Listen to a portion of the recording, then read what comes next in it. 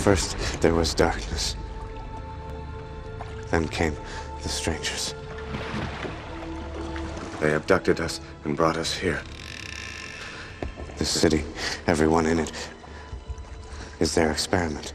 They mix and match our memories as they see fit, trying to divine what makes us unique. One day, a man might be an inspector. The next, someone entirely different. When they want to study a murderer, for instance, they simply imprint one of their citizens with a new personality. Arrange a family for him, friends, an entire history, even a lost wallet. Then they observe the results.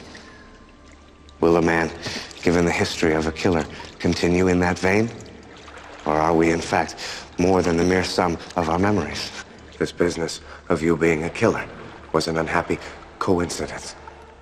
You have had dozens of lives before now. You just happened to wake up while I was imprinting you with this one. Why are they doing all this?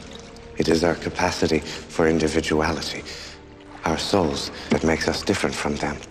They think they can find the human soul if they understand how our memories work. All they have are collective memories. They share one group mind. They're dying, you see. Their entire race is on the brink of extinction. They think we can save them. Where do I fit in? You are different, John. You resisted my attempt to imprint you.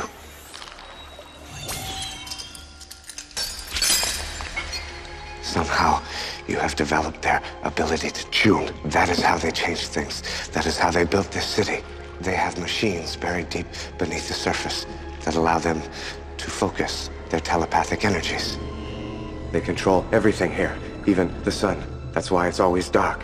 They can't stand the light. So why do they need you? When they first brought us here, they extracted what was in us so they could store the information, remix it like so much paint, and give us back new memories of their choosing. But they still needed an artist to help them. I understood the intricacies of the human mind better than they ever could. So they allowed me to keep my skills as a scientist because they needed them. But they made me delete everything else.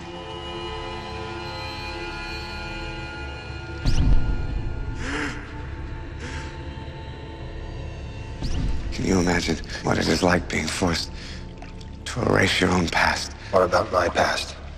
What about my childhood? Shell Beach, Uncle Carl. What about this? This was blank when I found it. You still don't understand, John. You were never a boy. Not in this place. Your entire history is an illusion, a fabrication, as it is with all of us. You made those drawings happen with your gift. You say they brought us here. From where? I'm sorry. I don't remember. None of us remember that. What we once were. What we might have been. Somewhere else.